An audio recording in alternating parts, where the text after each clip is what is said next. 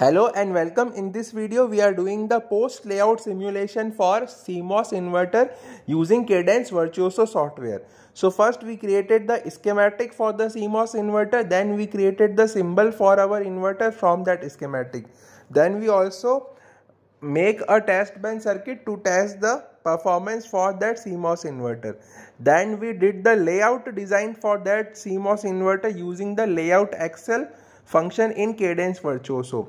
Now we will be doing the post layout simulation and, and we will be comparing the performance of our schematic design to the layout design. So for that first we will be creating a configuration file. So the library should be same as the library which we used for creating the schematic.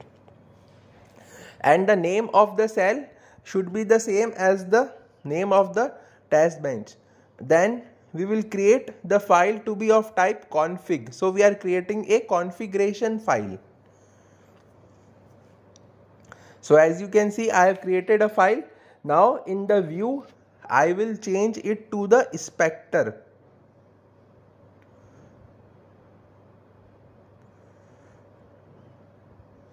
So as you can see from the drop down first we will choose the schematic as the view and in use template we will be using the Spectre as the template. So click on OK.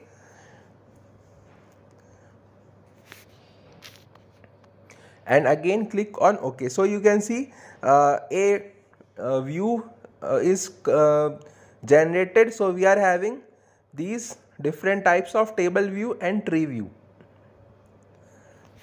Now we will create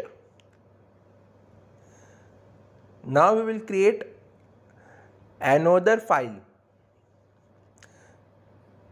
So this should be of the type config.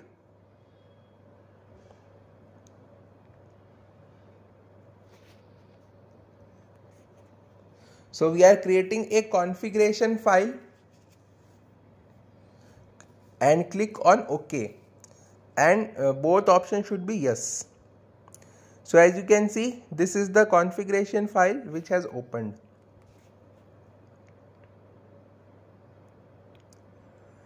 So there are schematic view. This is the test bench view which we created for our schematic. For testing the performance of schematic. So let us again run the this so we will choose that uh, analysis as transient analysis for 100 nanosecond. Choose it to be of moderate type. So in this analysis we are checking the performance of our schematic design. So we will choose the output and the input and plot the waveform. So this waveform that is generated is of the schematic design.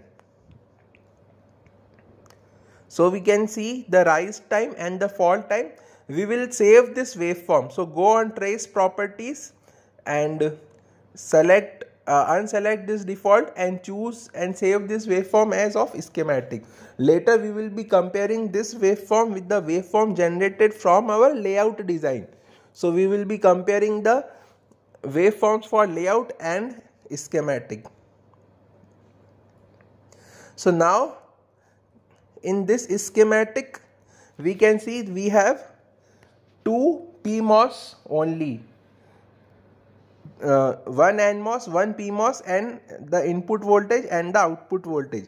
These are the only components which are present in the original schematic. So we will set it to be AV extracted. So remember we had extracted the parasitic capacitances and parasitic reactances.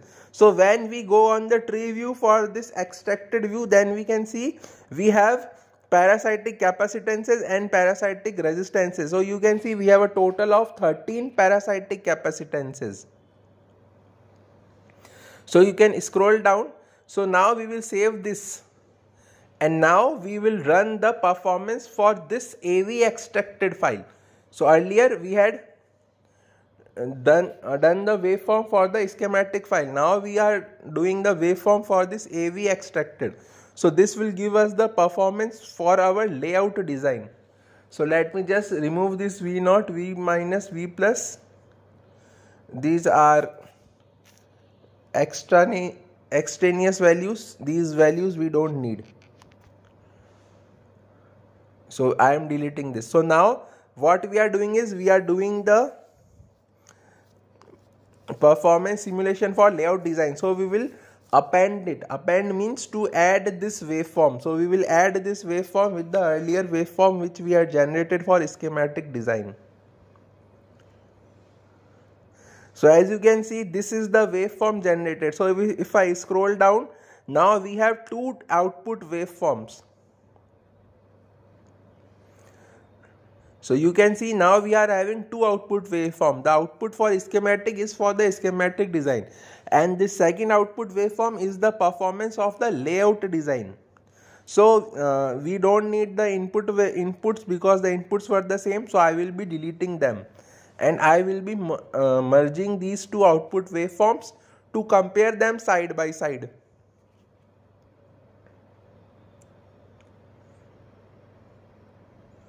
So let me zoom in. Now I will merge these two waveforms.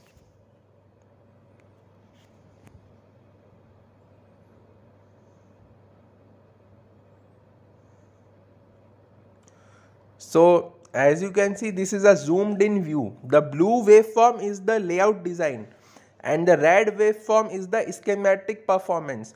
So yeah, you can see the blue waveform which is of the layout is giving slightly more fall time delay because it has more parasitic capacitances and more parasitic resistances that are taken into account. Remember the schematic design we considered the NMOS and PMOS design to be normally ideal but in layout uh, in layout we had parasitic resistances and parasitic capacitances so you can see there is a slightly more time taken for the input to fall.